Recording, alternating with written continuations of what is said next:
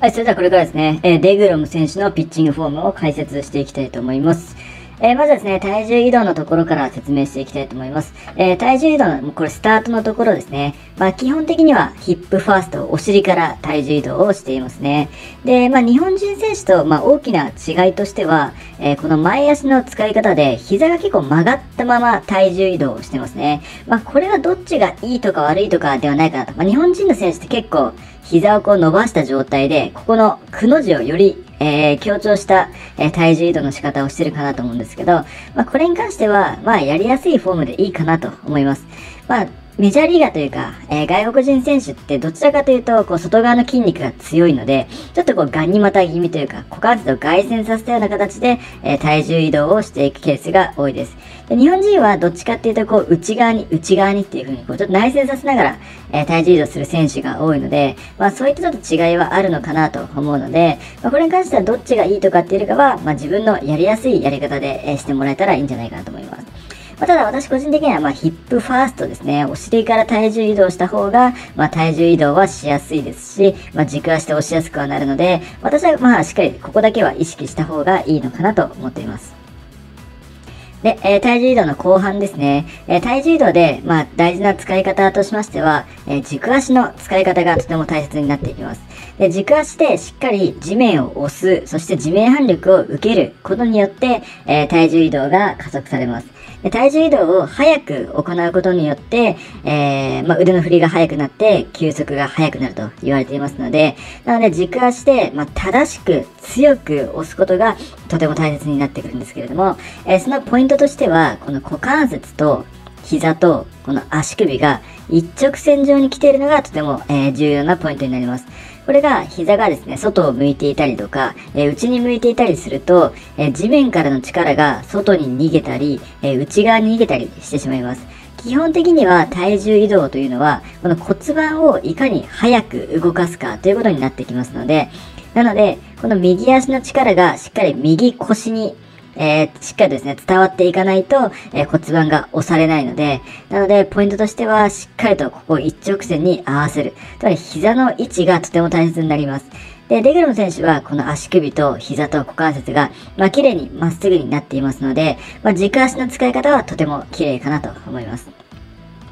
で、まあ、この F 踏み出し足の使い方も、まあ、日本ではよくこう内側にこう股関節を内旋させて、まあ、くの字ステップが流行っていますが、まあ、やっぱ外国人選手はくの字ステップほぼいないですね。どっちかというと骨盤がやや後傾気味の、えー、外側、お尻から外側の筋肉を使ったような、えー、外旋を優位に使ったような体重移動をしている選手が多いかなと思います。まあ、これに関しては、ここのやり方が正しいというわけではなくて、まあ、外国人選手の骨格的にこっちの方がやりやすいだけであって、まあ、日本人はどちらかというと、こう内旋させた方があ力が入りやすい人も多いかなと思うので、まあ、そこは必ずしもこっちが正しいからこっちを真似しろというわけではないので、まあ、そこだけは、えー、注意してもらえたらいいかなと思います。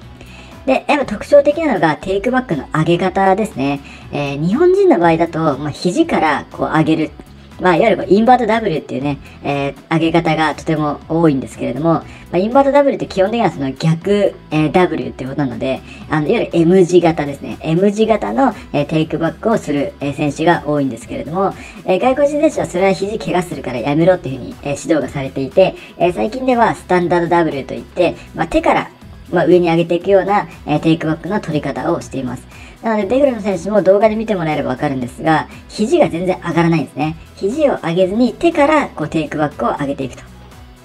まあ、これも別にテイクバックの時に肘を上げる必要はなくて、えー、リリースの時に肘が上がっていればいいので、テイクバックで逆に日本人みたいに肘を上げすぎると、えー、リリースで肘が下がりやすくなってしまうので、まあ、そこはですね、えー、自分で、えー、まあ、どっちがいいか試してもらえ得るといいのかなと思います。えー、外国人選手はほとんどが、まあ、肘は、えー、テイクバックでは上げずに、えー、手から上げて、えリリースの時に肘が上がってくるような投げ方をしている選手が多いです。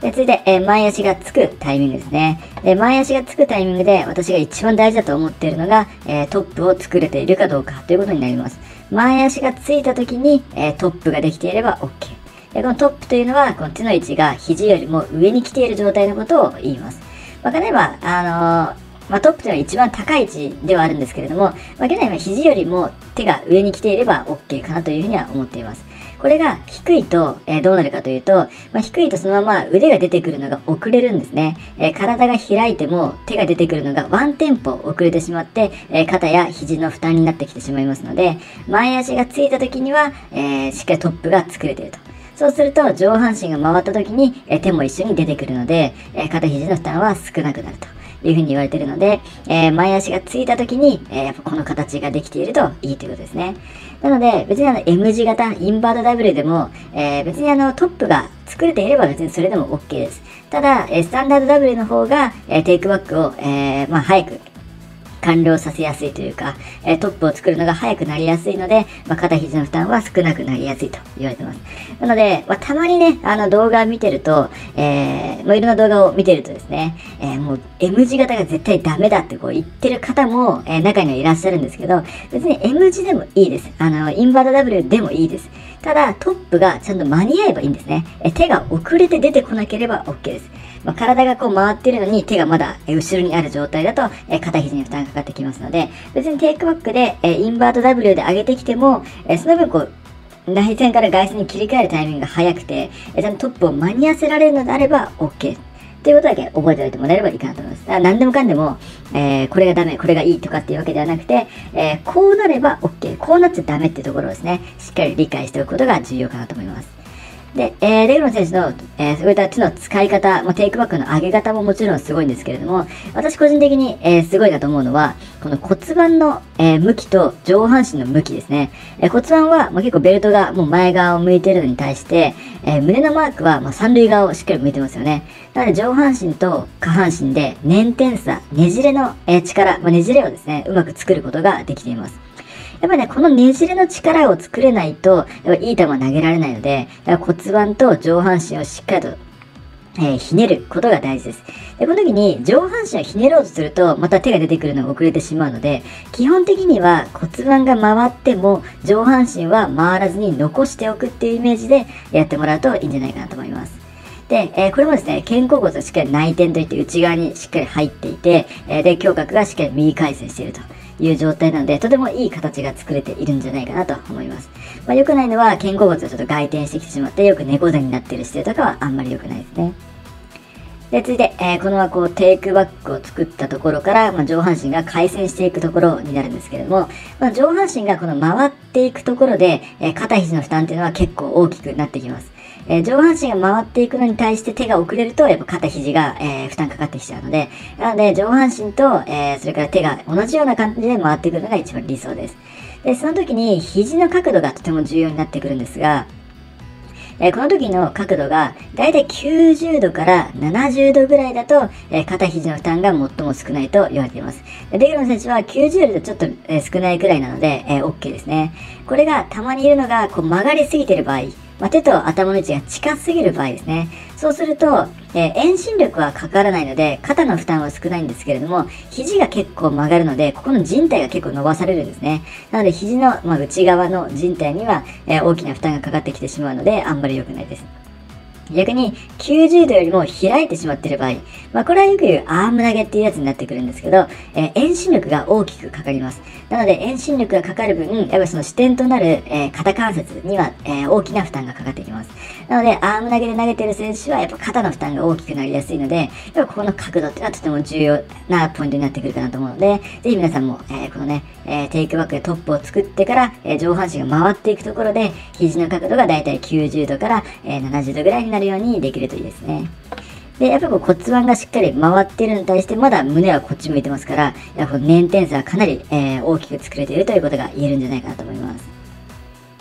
で続いて、え最大外旋のポイントですね。これも見てもらえば分かると思うんですすごいですね。この腕がかなりしなって、胸もしっかり腫れてます。このシナリオはすごいですね。やっぱここは、えー、別に外国人選手とか日本人選手関係なく、えー、参考にするべきところかなと思います。ここの柔軟性は絶対にですね、ピッチャーは作るべきですね。それから骨盤も見てもらえればわかるんですが、骨盤の前傾がしっかり入っていて、まあ、腰がいわゆる入ってる状態ですね。抜けてないですよね。この時には骨盤が、まあ、日本では後傾しやすいんですけど、まあ、しっかり前傾してる状態で重心をしっかり前に持ってこれてるのがいいです。この胸の校長の溝落ちがこの辺があると思うんですけど、この溝落ちがもう、えー、前足の真ん中ぐらい、まあ、真ん中がちょっと前ぐらいまで来てますので、これくらいまで重心を前に持ってこれるっていうのはすごいことですね。上半身の、えー、重心、質量中心を、えー、この、えー、太ももの真ん中くらいまで持ってこれるくらい胸を張れるというのはすごいことです。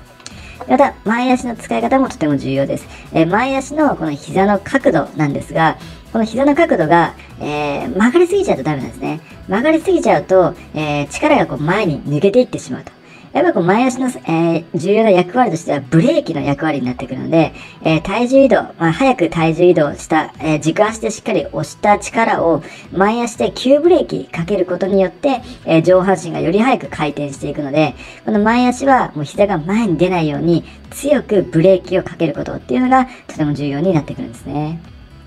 え続いて、えー、リリースのところです。もうこのリリースも素晴らしいですね。えー、しっかり肘が伸びた位置、そして、えー、前の、えしっかり指がかかったところでボールを離すことができています。これちょっと斜め前から撮ってるんであれですけど、多分真横から撮ったら多分つま先の真上ぐらいでリリースしてるんじゃないかなと思います。やっぱりね、えー、重心をなるべく前に持ってきて、えー、前でリリースできると、えー、力がしっかり伝わりやすくなります。それから骨盤など前傾がいいですね。骨盤の前傾をしっかり作った状態で胸を張って投げているので、え、かなり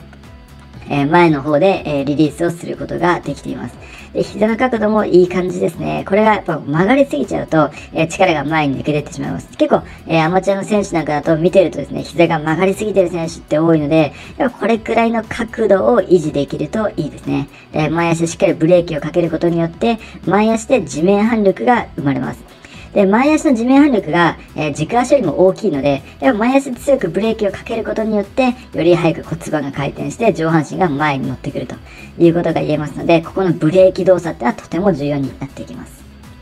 で、最後、フォロースルーですね。えー、デグノ選手も前足の使い方とても上手くて、膝が最終的には伸びきっていますよね。え、これは強いブレーキをかけた証拠でもあります。えー、前足でしっかりとブレーキをかける。まあ、むしろ膝を伸ばすキックバックという動作になるんですが、えー、キックバックを行うことによって、えー、よりですね、重心が前に乗っかってくると。えー、後ろが、えー、まあ、下半身がしっかりブレーキがかかることによって、上半身が前に乗っかってくると。まあ、この使い方が、まあ、よりですね、腕を速く振るためには大事になってきます。重心がこう、後ろに、えー、前、あのー、前膝でブレーキがかけられないと、重心が前に乗らなくて、重心が後ろに行ってしまうんですね。で、重心が後ろにある状態で腕を速く振ろうと思っても、えー、腕を速く振ることができないですし、え体重が前に乗らないので、まあ、腕の、いや、手投げになってしまうんですね。そうすると、やっぱ肩、肘の負担が大きくなってしまうので、やっぱりしっかり体重を前に乗せた状態で、え強く腕が振れるといいかなと思います。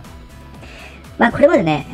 えー、私大体あの、プロ野球選手であっても、あの、良くないところがあると、えー、ここは良くないですねって結構指摘するんですよ。まあそうするとたまに、あの、お前は何様だっていう まあそういうコメントがあ来たりもするんですけど、え今普通に、えー、デグラム選手の解説をさせてもらうと、一個も悪いとこなかったですね。やっぱこれだけ、やっぱこう、いいフォームで、えー、投げられているので、力の伝達が良くて、まあいい球を投げられているのかなと思うので、ぜひですね、デグラム選手のフォームはは、え、日本人の方であっても、え、参考にしてもらいたいフォームかなと思います。